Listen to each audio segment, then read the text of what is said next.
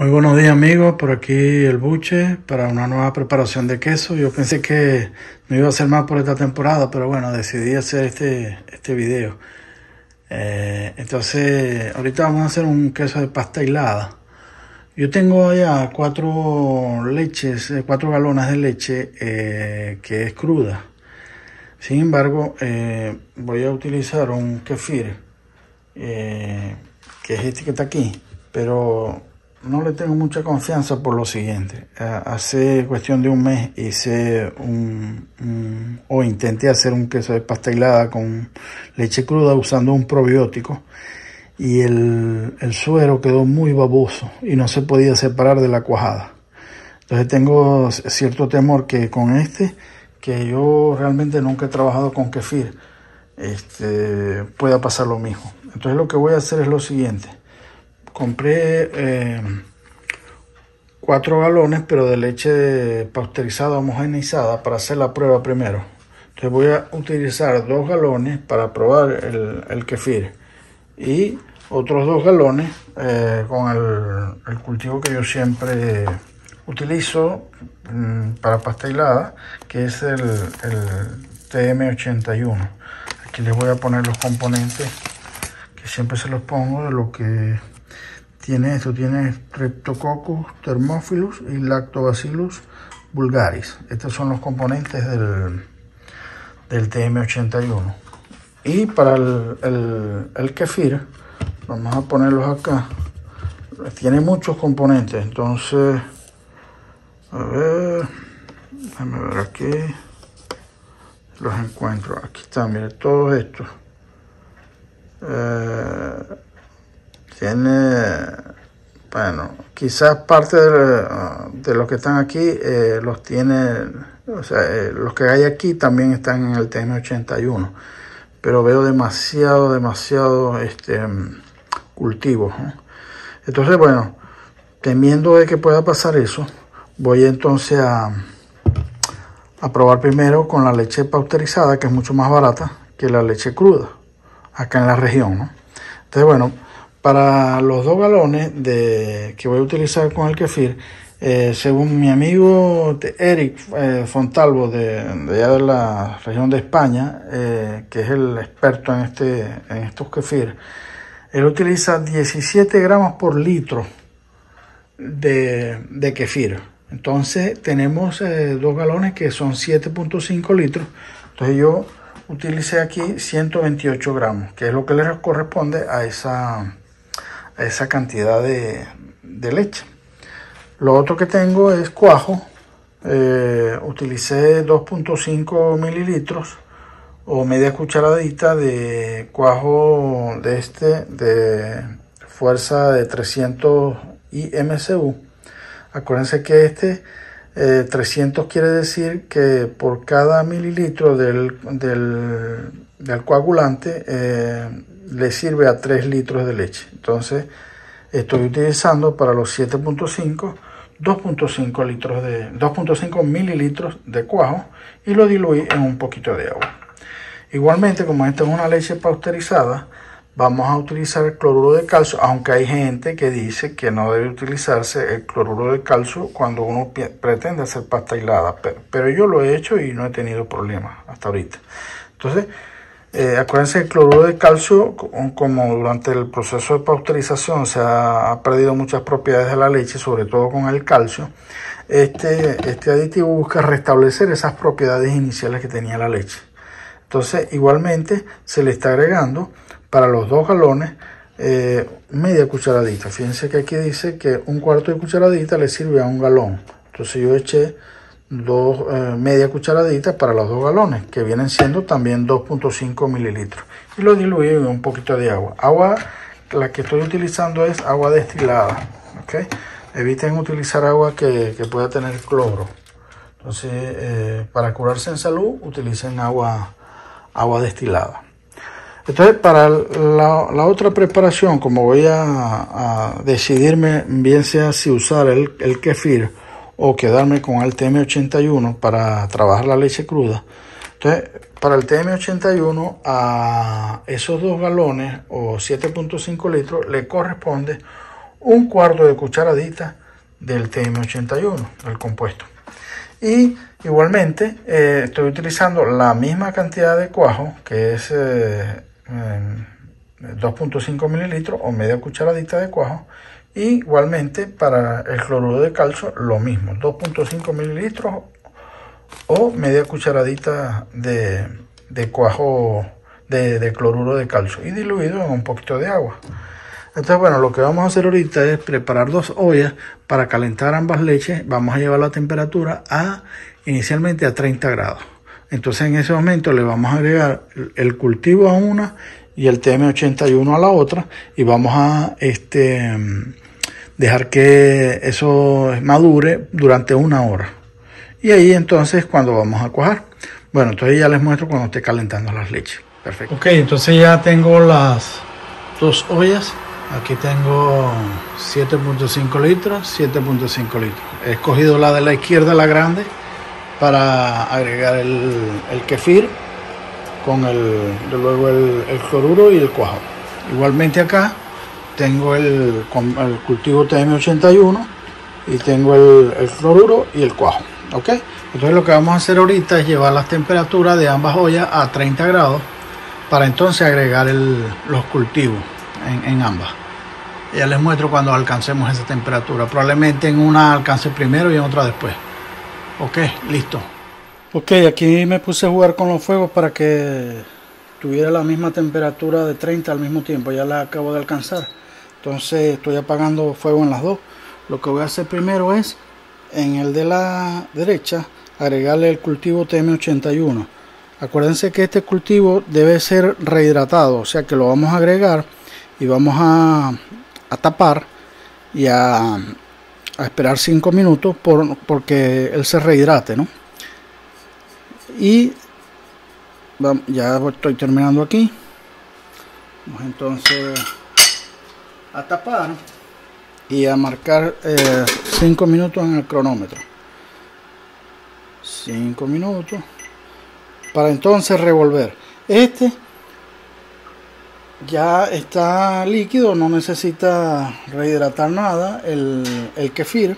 Vamos a ver cómo nos va con este cultivo lo que vamos a hacer es que lo vamos a, a revolver un ratico. Que lo mezclemos bien en la olla. Y entonces vamos a marcar este una alarma para este. Ya voy a chequear la hora. Para entonces marcar en el reloj una alarma que a la hora me suene. Para dejarlo entonces madurando durante una hora. Y luego entonces el otro también lo vamos a madurar una hora. Ahorita son las 8 y 12 entonces vamos para la alarma. Y vamos a crear una alarma que nos suene. Ahorita son 8 y 12 serían 9 y 12 ok 6 ahí está. Entonces a las 9 y 12 nos va a sonar. Y ahí es cuando vamos entonces a agregar el, el cloruro y luego el cuajo ahorita les muestro entonces cuando hayan pasado los 5 minutos que ya van a estar casi para entonces revolver el, el cultivo TM81 en la olla de la derecha. Ya nos vemos. Ok, ya se van a cumplir los 5 minutos. Ahí está sonando la alarma. Entonces lo que hago es revolver suavemente para mezclar el, cultivo en toda la leche. Vamos a darle unos 30 segundos allí para asegurarse que quede bien mezclado. Asegúrense de traerse lo que está en el fondo hacia arriba y vuelvan al fondo otra vez, Para que el cultivo quede bien mezclado en toda la en toda la leche, Bueno, entonces ya terminamos de mezclarlo ¿Qué vamos a hacer ahora? Eh, con el reloj de aquí del microondas voy a marcar una hora para no confundirme, 60 minutos. Para entonces dejar madurando el, cultivo TM81 en esta olla de la derecha. ¿ok? Y acuérdense aquí tenemos el, el kefir. Bueno, ya nos vemos cuando tengamos que agregar cloruro y cuajo. ¿Listo? Bueno, ya se cumplió entonces la hora de, de maduración en la olla de la izquierda, la del kefir. Entonces le agregamos primero el cloruro de calcio. Y vamos a revolver durante un minuto. Y luego le vamos a agregar el, cuajo y luego entonces vamos a esperar eh, una hora por porque cuaje la leche ok. Voy a terminar de revolver aquí.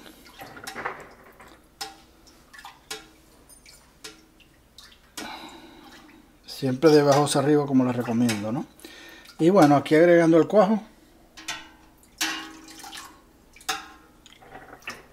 Vamos a revolver también durante aproximadamente un minuto.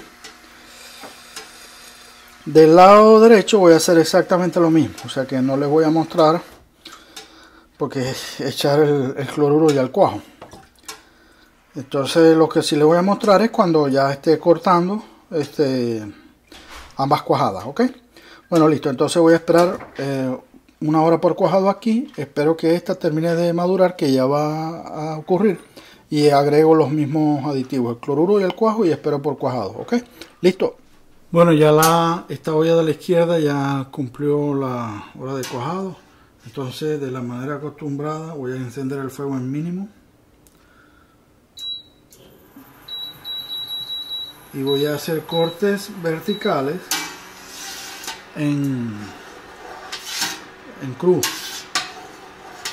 y este luego tapar y mantener 10 minutos este, a fuego mínimo con la olla tapada ok lo mismo voy a estar haciendo en la olla de la derecha ya les muestro porque ya también se está cumpliendo la hora de cuajado. Dejé esta un poquito más para tener las dos al mismo tiempo. Entonces termino de hacer los cortes de aquí. El cuajado al menos el cuajado fue perfecto. Vamos a ver cómo se comporta en el desuerado si, si no queda ese suero baboso con, con el kefir bueno entonces ya terminé de cortar aquí tapo y me voy para la otra ya les muestro. Ok aquí entonces eh, igualito estoy encendiendo el fuego mínimo y voy entonces a hacer los cortes igualito que la otra olla el cuajado lo noto igual eh, igualmente efectivo cuajo perfecto sin problema vamos a ver qué diferencia tenemos durante el desurado entonces le hago los cortes verticales más o menos una separación de una pulgada y entonces tapo y dejo que donde estemos haciendo esos cortes se ponga firme. Acuérdense que nosotros cuando hacemos estos cortes la cuajada es muy débil allí. Entonces vamos a, a tapar y marcamos entonces 10 minutos para ambas ollas y venimos a chequear. Ok, aquí tenemos la, la olla del donde está el kefir. Fíjense que ya se paró muy bien. Entonces lo que vamos a hacer ahorita es hacerle cortes más pequeños de la manera acostumbrada a la cojada de manera de que eh, cada vez sea más pequeño y al mismo tiempo la cojada vaya bajando al fondo vaya decantando y el suero vaya subiendo entonces eso es lo que voy a estar haciendo en ambas ollas voy a mostrarle a ver cómo está la segunda olla la del eh, cultivo TM81 para que vean eh, cómo vamos a estar haciendo. Ya les muestro. Ok, aquí está la olla de la derecha, la olla del, del cultivo TM81. Fíjense que ambas, eh, ambas ollas se están comportando hasta ahorita eh, muy parecidas. Entonces, lo que voy a estar haciendo igual, este, más o menos este proceso estimo que durará una media hora de estar, fíjense que el fuego está encendido en mínimo en ambas, en ambas ollas ok de manera que se vaya calentando nada más un, poquito y eso permita que cuando vamos haciendo los cortes eso, esos granos vayan decantando y el suelo vaya subiendo ok eh, bueno voy a estar haciendo eso ya les muestro cuando terminemos de, de hacer estos cortes Ok, entonces estuvimos este, cortando la cuajada en ambas ollas, ya logramos exactamente están igual, ambos, ambas cuajadas se fueron al fondo. Lo que vamos a hacer ahorita es medir la temperatura en la olla de la izquierda donde está el kefir. Vamos a ver cuánto tenemos. Tenemos 36.3. Tenemos que llevarlo entonces a 42. también vamos a medir de una vez el pH. Acá. Déjenme medir el pH. Secar aquí esto. A ver qué pH tenemos en esta olla. Tenemos, eh, vamos a ver en cuánto se estabiliza. 608. En 608 se está estabilizando. 604. Ahí se quedó quieto en 604. 604, 608. Entonces vamos a ir este, eh, aumentando un poquito el fuego para llevar la temperatura a 42 grados. ¿ok? Al, mismo tiempo que estamos removiendo. Pero vamos a chequear entonces igual temperatura y pH en la, olla, en la olla de la derecha donde está el cultivo TM81. Ya ok, aquí estoy en la, en la de la derecha. Vamos a medir entonces la temperatura en centígrados. Tenemos aquí 35.2 está muy parecida aquí estaba en 36 aquí 35.2 vamos a verificar el pH ver en cuánto se estabiliza. El target que tenemos nosotros es por debajo de 5.3.2 vamos a ver cuánto llega este. A ver. Fíjese que este este cultivo es más agresivo que aquel no aquí tenemos ahorita 5.36 y cuando seguramente aumentemos la temperatura hasta 42 eh, va a bajar mucho más. Entonces vamos a estar monitoreando este, en cuanto nos quede el pH. Acuérdense estamos buscando ah, aproximadamente en 5 el pH en 5 ok ya les muestro entonces voy a ir aumentando la temperatura en ambas ollas. Perfecto. Ok ya en la olla de la izquierda del Decker Kefir este ya alcanzó la temperatura de 42 voy a apagar allá y voy a tapar. Acuérdense que esa no ha todavía conseguido el, pH requerido. Ahorita lo vamos a medir pero esta está muy cerca de ya alcanzar este la temperatura voy a poner el termómetro aquí fijo para que me diga entonces cuando alcanza los 42 grados mientras tanto vámonos a la otra olla a medir el, el pH allá ya les muestro Ok, verificando pH en la olla grande, en la olla donde está el kefir. Eh, vamos a ver a cuánto llegó.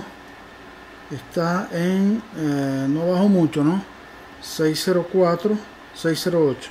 Entonces lo que vamos a hacer es mantener esta olla en, así tapada eh, con esa temperatura y vamos a ir monitoreando el, el, el pH hasta que nos llegue a un pH este por debajo de, 5.2, 5.1, 5 por ahí, por este, ese sector, ¿ok? Ahorita está demasiado alto para desolar en este momento, ¿ok? Entonces, tapo aquí, me voy a ocupar de la olla de la derecha donde está el TM81, que se ve que es un cultivo que actúa más agresivo que este. Este, eh, por lo que estoy viendo, va más lento. Con respecto al, suero, no lo noto baboso. O sea que eso es una buena señal de que el kefir va, si va a servir, lo único que es más lento que el TM81. Bueno, ya nos vamos a la otra olla. Ok, estamos alcanzando ya los 42 eh, grados en la, en la olla de acá de la de la derecha donde estaba el, donde tenemos el TM81 ¿qué vamos a hacer? vamos a medir el, pH acá a ver cuánto tenemos. Seguramente ya estemos muy cercanos al valor déjeme un momentico lavar el, el, el pHímetro ya va. Siempre me gusta lavarlo ah, para tomar la lectura entonces ahí que medimos vamos a apagar el fuego fíjense que tiene un pH de 5.11 entonces este 5.8 lo que vamos a hacer también 5.4 es esperar que nos baje de, de 5 verdad para entonces hacer el desorado, comenzar con el desorado de la olla pequeña donde tenemos el, el TM81. ¿ok? Listo. Y mientras tanto voy monitoreando este, la del otro también. Este ahorita en 5 minutos la voy a chequear porque seguramente va a bajar muy rápido el pH de aquí. Listo. Bueno, aquí estoy midiendo de nuevo eh, después de unos 5 minutos estoy eh, obteniendo 4.97. A ver si se ve ahí. 4.97 el pH. Entonces, ¿qué voy a hacer en este momento? A desuerar esta. Ok, ya les muestro en el área de desuerado. Voy a mudar la cámara para allá. Ok, aquí tengo dos, dos coladores, uno grande y uno pequeñito. Voy a usar el pequeñito para la olla pequeña, donde está el TM81. Y como veo algunos restos de cuajada que es pequeñito, voy a ponerle un poquito de esta tela aquí para que me, me, agarre todo lo sólido, ¿no? ¿no? se vaya a pasar nada, ¿no? Entonces lo que voy a ir haciendo es con una taza, ya la busco.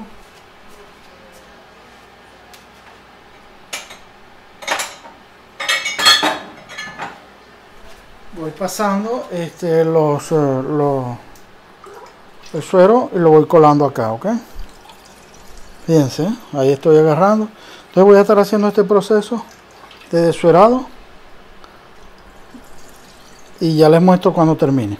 Listo. Ok, ya eh, agregué toda la toda la cuajada en la parte de aquí de la de la tela y entonces qué tenemos que hacer ahora desuerar bien bien bien. Acuérdense que esta leche no es igual que la cruda no eh, yo nunca he podido hilarla en caldero, ha tenido que ser en microondas. Y tiene que estar muy bien desorada porque si no, este no va a hilar. Entonces yo voy a estar eh, exprimiendo y dejándola bien seca antes de intentar hilar con ella. Mientras tanto, la otra olla vamos a ir verificando qué pH tiene ahorita y, vamos monitoreando hasta que ya baje de 5. Vamos entonces a, a retirar, hacer el mismo proceso de desuerado que ya les estoy mostrando el avance de ambas. Ok, este, vamos a tomar otra lectura. Habrán pasado ¿qué? unos 20 minutos. Vamos a ver en cuánto ha llegado. La verdad que está, está errático porque tenía 8, 608, eh, ahora está en 615. Entonces vamos a esperar a que ella por sí sola vaya bajando. Así no lo podemos desuerar este, porque no hilaría nunca. Entonces eso es lo que estamos viendo, que el, kefir este, eh, particularmente este, no tiene tanta efectividad como el, el TM81 y como a lo mejor otros kefir. Entonces bueno, seguimos monitoreando. Mientras tanto, la, la cuajada del otro, del TM81, acá la tengo desuerando esperando que esté dura, ahorita la siento todavía floja, eh, que esté lo mayor desurada que pueda antes de intentar hacer el hilado en el microondas. Listo. Ok, mientras esto, entonces que voy monitoreando la, la pH ya, que todavía no ha variado, todavía está en 615. Este, voy entonces trabajando esta cuajada, la del TM81, la pasé para este plato y le puedo ir haciendo cortes. Eh, así en cruz también, para que vaya liberando más suero, se vaya poniendo más dura. la, noto un poquito desboronada. Eso bueno. Vamos a seguir trabajando, incluso le puedo poner un plato arriba y yo mismo este, ir aplastando para que vaya liberando suero, ¿no? Y el suero lo voy botando en el, en el lado plato. Pero voy a ir haciendo eso hasta que ya note que la cuajada está firme y bien desorada para entonces intentar hacer el hilado en microondas, ¿ok? Listo. Bueno, ahí estoy pesando la, la cuajada, ya está bastante seca, tiene 927 gramos. Entonces yo la voy a dividir en, pudiera hacer en 5 para hacer el hilado. Entonces 927 entre 5 nos da 185 este, por porción. Entonces vamos a poner la primera porción y vamos a intentar eh, hilar, a ver si nos hila, ¿ok? Ya les muestro. Ok, ahí está la porción, 185. Entonces vamos a darle un primer calentado en el microondas de un, minuto y ya les muestro. Ok, ya tuve el, minuto en el microondas. Entonces, lo que tenemos que hacer es trabajar esto este, para irla enfriando. Fíjense que no, no botó mucho suero. Y le vamos dando ahí trabajando la cuajada para que vaya agarrando consistencia de eh, quesito de mano, que vaya hilando, ¿ok? Este, todavía no está, no está lista. A pesar de que está hilando un poquito, pues no la noto que está todavía lista. Lo mejor va a necesitar otro, otros dos minuticos más. Vamos a darle un ratico aquí a trabajarla. Y vamos viendo. Cuestión de tener paciencia. ¿eh? A medida que le vamos dando, eh, la textura va cambiando un poco. Y va, se va estirando más. Miren, ¿vieron? Pero a lo mejor necesita dos, dos o tres más. Vamos a ver qué, qué nos dice. Vamos a trabajarlo un ratico ahí. quedando chévere. Vamos a darle otros 30 segundos más. Y si vemos que, fíjense, ya, sí, ya, ya tiene su, su, punto, su punto de hilado bueno, mira. Está bien. Acuérdense que a esta, esta leche no se le puede pedir mucho, ¿no? Porque está, está, bueno, ha sufrido tantos procesos de pasteurización, de homogeneización que pero estamos logrando estamos logrando tener algo ok entonces bueno le voy a dar 30 segundos y vengo nuevamente para acá. Ok así salió después de 30 segundos más. Fíjense la textura la trabajamos un ratito está súper caliente nos ayudamos de esta de esta paleta. Hasta que ya la podamos con la mano trabajarla, ¿no? Esperar que se, se despegue un poquito. Pero está, está ya, ya está, está, estirando bastante bien,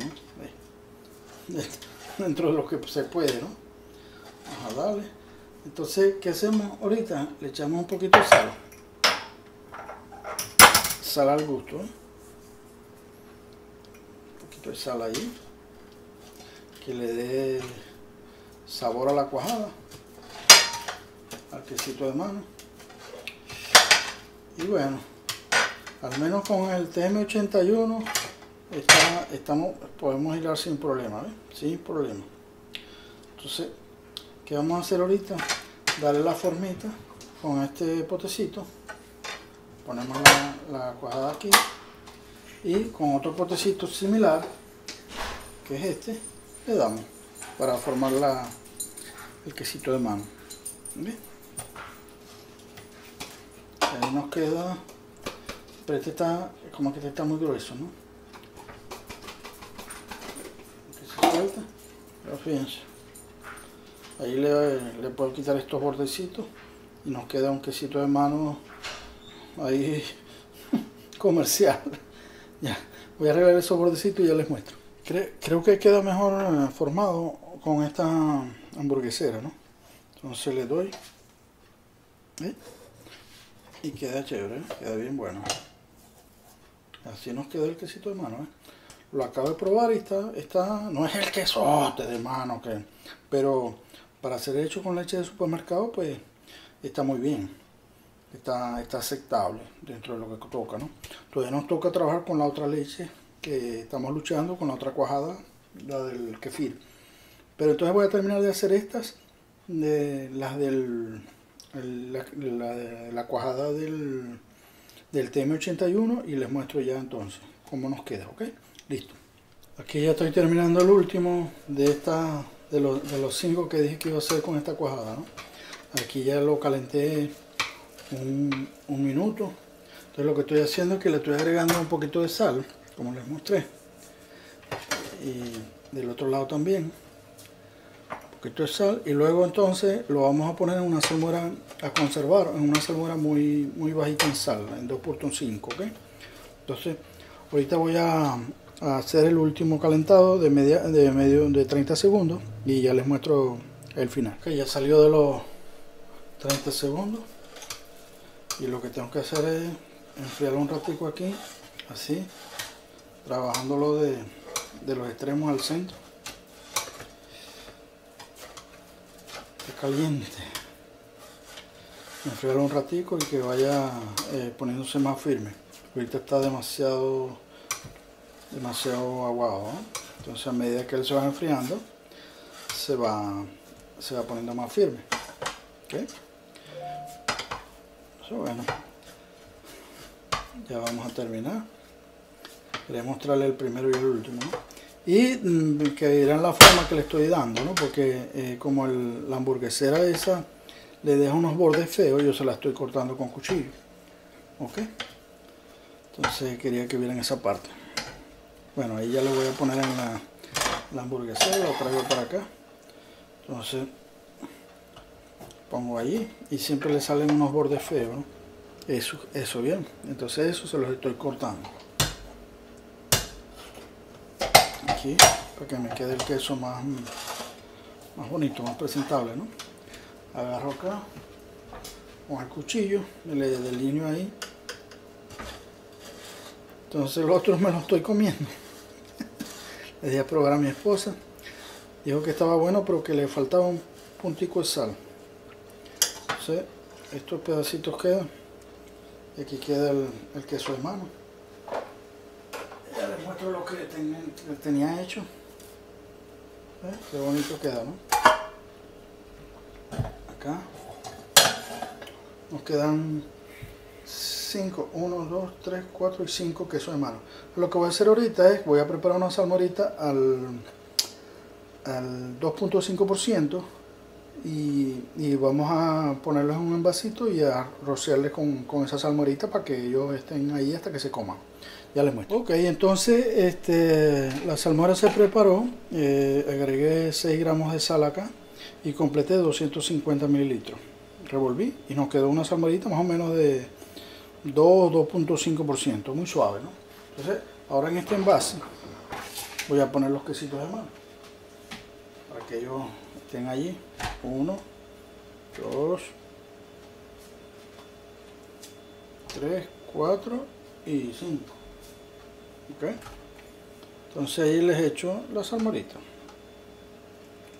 para que ellos se conserven allí. y es recomendable consumirlo lo más rápido posible, ¿no? Para que no se vaya a, dañar el quesito, ¿no? Ahí queda. Bueno, entonces ahora lo que me toca es trabajar con la otra cuajada que todavía está este, eh, problemática para bajar el pH. Vamos a ver cuánto lleva ahorita. Ok, vamos a tomar hora y media después. Son las 1 y 5, habíamos tomado la lectura a las 11 y media. Ver cuánto nos está marcando. 608 entonces esto le falta. Tengo ganas de llevarlo al garaje y voy a estarlo monitoreando allá. Voy a ver si tomo una siesta y lo vengo a chequear unas 2-3 horas a ver qué tal. Listo ahí vamos viendo este, acuérdense este es el, la cuajada que fue donde se le agregó el kefir ok listo. Bueno, aquí me, ocurrió un pequeño accidente porque fui a dormir y me quedé rendido y acabo de regresar como tres horas después eh, y chequeé el, pH que estaba en la olla de el, kefir y estaba en 4.3, o sea que salí corriendo a, a desuerar. En este momento estoy desuerando, no sé si vaya a hilar porque realmente se pasó de acidificación. Acuérdense que estábamos buscando por menos de 5, pero llegó a, 4-3. De todas maneras, yo le voy a hacer la lucha este, para ver si la podemos hilar y, formar los quesitos de mano. Si no, bueno, lamentándolo mucho, pero habremos perdido esta cuajada, al menos para queso de mano. Este, lo otro que quería comentar, bueno, que no tuve el problema que el suero se pusiera espeso. Este, fue muy fácil de suerar, por lo que me indica que sí puedo este, utilizarlo con la leche cruda. ¿okay?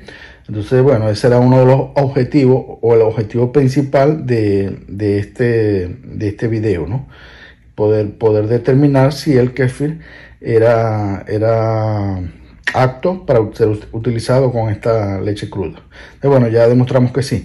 Entonces, bueno, me tocaría ahorita este, terminar de, de desuerar todavía está bastante húmeda y entonces intentar hilar. Yo les mostraría ahorita cuando esté haciendo los intentos. Bueno, estoy pesando la cuajada, le, he exprimido lo que más que he podido, pero tengo ahorita 1115. O sea, una diferencia de casi 200 gramos con respecto a la cuajada del, otro queso, del que hicimos con el TM81. Entonces, yo voy a intentar hilar, pero a lo mejor va a costar un poquito más en el microondas porque está un poquito más, mm, tiene un poquito de más de suero ahí en, en, su, en, la cuajada esta, ¿ok? Entonces voy a dividir 1115 entre 5 y voy poniendo esos, este, esas porciones, ¿no? Para entonces ir hilando por parte. Voy a hacer 5 cinco, hiladas, pero vamos a ver si funciona en la primera. Ya les digo cuánto, cuánto pesa la primera. Bueno, finalmente decidí dividir entre 6. Entonces dividí 1115 entre 6, me da los mismos 185. Entonces voy a, aquí tengo los primeros 185. Voy a, la buena de Dios a ver si logra hilar, ¿no? Porque de verdad que se nos pasó de, de acidez. El pH llegó muy bajo, a 4.3. Vamos entonces a hacer la prueba. Voy a poner el primer minuto. Ok, aquí salió ya del, primer minuto. Fíjense que estaba botando suero, ¿no? Como les dije, este, estaba un poco más húmeda que la, que la anterior. Y estoy notando que está demasiado aguado. Entonces yo no creo que, como se nos pasó de acidez, que pueda hacer el queso de mano con, esta cuajada. ¿no? Vamos a ver. Intentar ver si nos da textura, pero la veo más como que va a terminar en, en una nata. Más bien a lo mejor la, la terminé de, derretir pero para, para, nata porque fíjense que está sumamente aguada y pegajosa. No tiene la misma textura de la otra porque como les comenté se pasó de, acidez. Entonces yo no voy a seguir intentando con esta. Lo que sí es que demostramos que sí se puede utilizar para la leche cruda no, no va a dejar el, el suero baboso entonces ya mañana en otro video voy a voy a trabajar con la leche cruda usando el, el kefir. Voy a terminar de, de, derretir esto, pero para ponerlo en, en, nata y les muestro. Bueno, este es el resultado de la jornada laboral de hoy. Hicimos este cinco quesitos con la, el cultivo TM81. Aquí está la... Los tengo guardados en salmuera. La salmuera está al 2.5. Y este, bueno, ahí sí fracasamos porque de verdad me quedé dormido y bajó demasiado la acidez en la, en la cuajada que tenía el kefir. Entonces llegó a 4.3, lo metí en el microondas, pero que va, estaba demasiado aguado. Entonces lo que hice fue este derretir todo y quedó como una especie de entre ricota y nata, ¿no? Leche, sal y está muy sabroso. Este, lo probé ahorita con unas galletitas y de verdad está bastante bueno. Entonces, bueno, aquí concluye este video. Entonces ya mañana voy a trabajar la leche cruda con el, con el kefir ya que me dio buena señal de que no se pone baboso el suero, que era la, el objetivo principal de este video. Bueno, me despido, ya entonces mañana hago el otro video. Saludos, Dios lo bendiga, cambio fuera.